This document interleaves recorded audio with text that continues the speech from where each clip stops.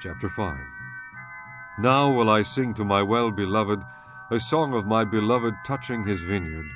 My well-beloved hath a vineyard in a very fruitful hill, and he fenced it, and gathered out the stones thereof, and planted it with the choicest vine, and built a tower in the midst of it, and also made a winepress therein. And he looked that it should bring forth grapes, and it brought forth wild grapes. Now, O inhabitants of Jerusalem, and men of Judah, judge, I pray you, betwixt me and my vineyard. What could have been done more to my vineyard, that I have not done in it? Wherefore, when I looked that it should bring forth grapes, brought it forth wild grapes.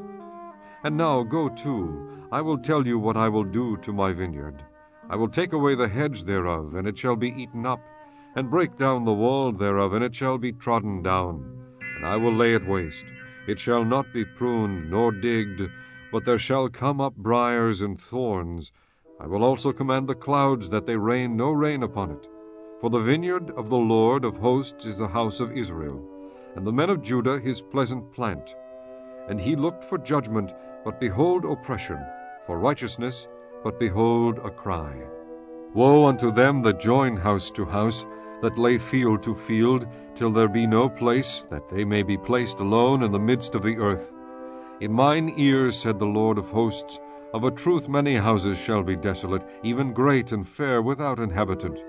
Yea, ten acres of vineyard shall yield one bath, and the seed of an homer shall yield an ephah.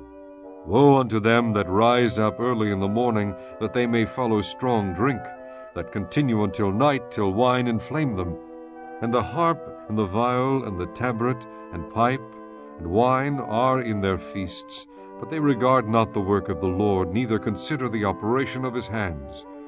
Therefore my people are gone into captivity, because they have no knowledge, and their honorable men are famished, and their multitude dried up with thirst. Therefore hell hath enlarged herself, and opened her mouth without measure, and their glory, and their multitude, and their pomp, and he that rejoiceth shall descend into it. And the mean man shall be brought down, and the mighty man shall be humbled, and the eyes of the lofty shall be humbled. But the Lord of hosts shall be exalted in judgment, and God that is holy shall be sanctified in righteousness. Then shall the lambs feed after their manner, and the waste places of the fat ones shall strangers eat. Woe unto them that draw iniquity with cords of vanity, and sin as it were with a cart rope, that say, Let him make speed and hasten his work, that we may see it. And let the counsel of the Holy One of Israel draw nigh and come, that we may know it. Woe unto them that call evil good, and good evil, that put darkness for light, and light for darkness, that put bitter for sweet, and sweet for bitter. Woe unto them that are wise in their own eyes, and prudent in their own sight.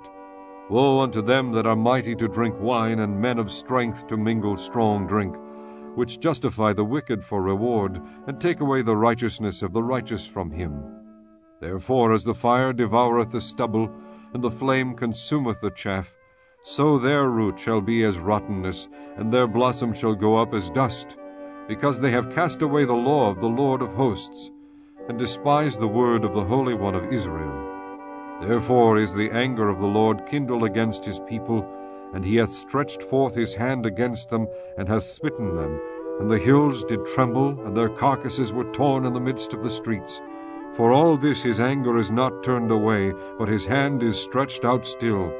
And he will lift up an ensign to the nations from far, and will hiss unto them from the end of the earth. And behold, they shall come with speed swiftly. None shall be weary nor stumble among them, none shall slumber nor sleep. Neither shall the girdle of their loins be loosed, nor the latchet of their shoes be broken. Whose arrows are sharp, and all their bows bent, their horses' hoofs shall be counted like flint, and their wheels like a whirlwind. Their roaring shall be like a lion, they shall roar like young lions. Yea, they shall roar and lay hold of the prey, and shall carry it away safe, and none shall deliver it. And in that day they shall roar against them like the roaring of the seas. And if one look unto the land, behold darkness and sorrow, and the light is darkened in the heavens thereof.